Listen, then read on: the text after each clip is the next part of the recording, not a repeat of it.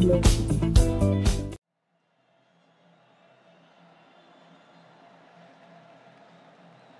el estadio Kim Abdullah Sport City de Jeddah se enfrentaron Arabia Saudita y Uruguay en el marco de una nueva fecha FIFA, iniciando el cuarto proceso del maestro Tavares al frente de la selección.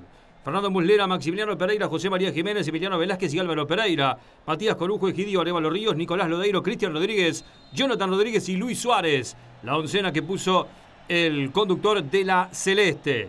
Maximiliano Pereira fue el capitán y pasó a ser el segundo jugador con más presencias de la selección con 96, superando de esta manera a Diego Lugano. Además fue el debut para Emiliano Velázquez y Jonathan Rodríguez. A los tres minutos prácticamente la primera jugada.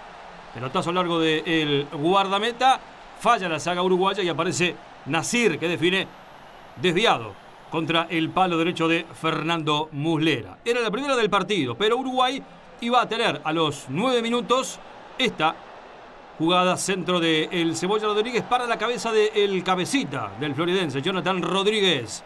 El número 20 de Uruguay, el delantero de Peñarol. Buena pelota del hombre del Atlético Madrid para el jugador uruguayo. Todo seguía 0 a 0 y viajamos a los 12 con 50. Otra vez aparece Nasir pegándole contra el arco uruguayo. Uno de los mejores jugadores que tuvo el equipo dirigido por el español Juan López Caro. Y aquí es el palo que ataja por Fernando Muslera. Centro de Mustafa y aparece Yagia Sulaimán.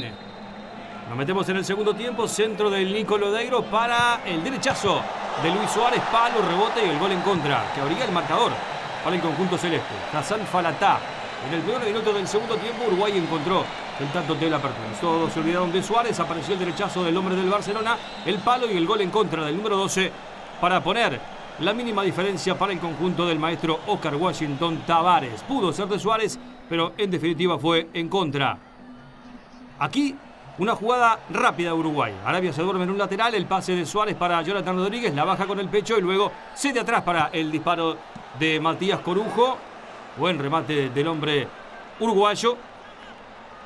El número 15 tuvo su chance, pero no pudo anotar el segundo tanto para Uruguay que aquí pudo ser, en este mal pase hacia atrás de la saga árabe.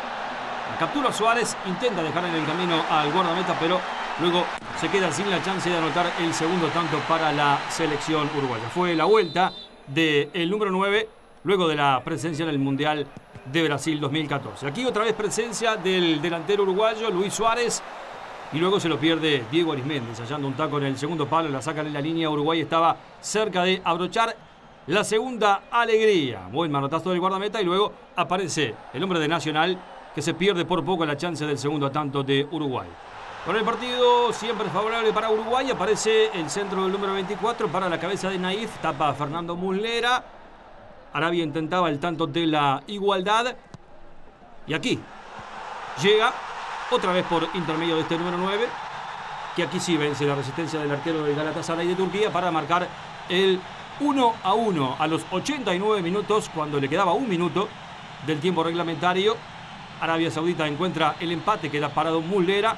Buen centro del número 12 al corazón del área y la aparición de Naif para empatar el partido y decretar el resultado final. Uruguay 1, Arabia Saudita 1. Próximo partido, próximo lunes a las 12 y media ante Oman.